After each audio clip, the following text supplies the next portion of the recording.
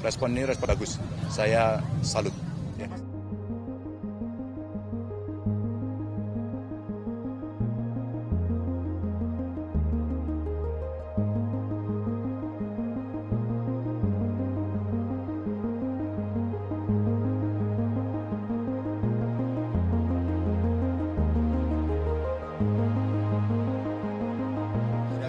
Itu bagus saya acungi jempol sehingga gagal panen ini pernah kita bicara asuransi petani dan saya kira sudah ada itu.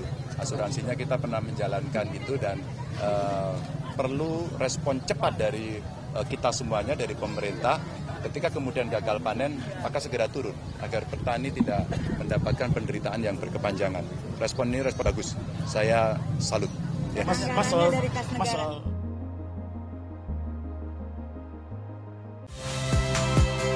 Saya Nitya Anissa, saksikan program-program Kompas TV melalui siaran digital, pay TV, dan media streaming lainnya.